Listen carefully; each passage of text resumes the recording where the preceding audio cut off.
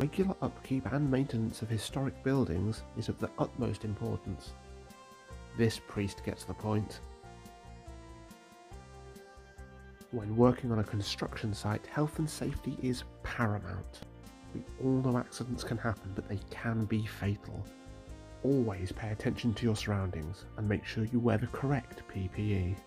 This load was improperly secured, and the vehicle clearly hadn't undergone a recent inspection to ensure it was in good working order. Health and safety is not something to lose your head over. Here we see the importance of always associating with registered tour operators. If you don't, it can be a real pain in the neck. When swimming in open water, and especially at night, you must always use the buddy system. Nominate someone to be your buddy and watch you in case you get into any difficulty. Even the most experienced of swimmers can get caught out by a sudden riptide. Unfortunately, this swimmer is in over her head.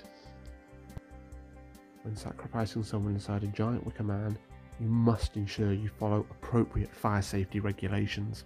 Here is the designated fire marshal. It's his job to help people if anything unforeseen should occur.